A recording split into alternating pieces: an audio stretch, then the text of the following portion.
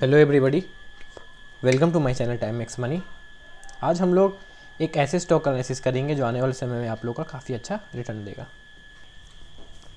उस स्टॉक का नाम है ज्योति लैब्स चलिए हम लोग सबसे पहले ज्योति लैब्स का चार्ट ओपन कर लेते हैं।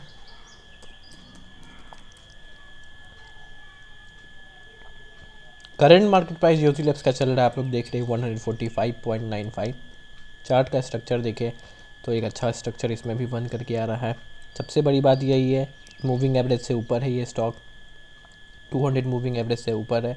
कोई भी स्टॉक में अगर काम करना है तो बेसिक सा रीज़न है कि 200 मूविंग एवरेज से ऊपर अगर स्टॉक काम कर रहा है तो आप लोग के पास बाइंग अपॉर्चुनिटी है। और अगर देखा जाए तो आज 200 का मूविंग एवरेज का इसने लो बनाया था, लेकिन वहाँ से सपोर्ट लेकर के एक अच्छा खासा मूवमेंट अभी आप लोग को इस स्टॉक में देखने को मिल सकता है।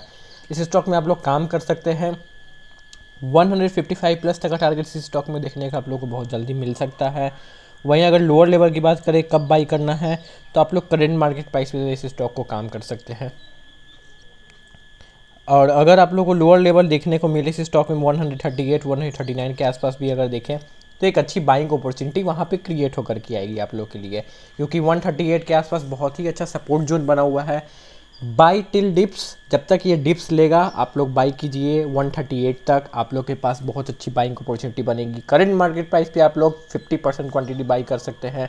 अगर ये स्टॉक 138 के पास दिखे तो आप लोग रेस्ट रिमेनिंग वहाँ पे आप लोग 141 पे बाई कीजिए।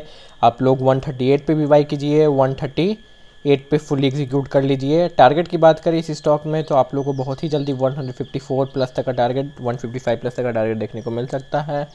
अगर ये स्टॉक 155 के ऊपर अगर डेली बेसिस पे अगर क्लोजिंग दे देता है, इसमें एक अच्छा खासा आप लोग 165 प्लस तक का टारगेट देखने को ज्योति लैब्स में मिल सकता है। याद रहे कि 138 137 बहुत ही अच्छा सपोर्ट जोन बन करके आ रहा है ज्योति लैब्स में।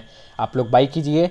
और जो भी हमने लेवल्स बताए, आप लोगों के पैसे बनते आए हैं, अभी तक आगे भी बनेंगे और ज़रूर बनेंगे।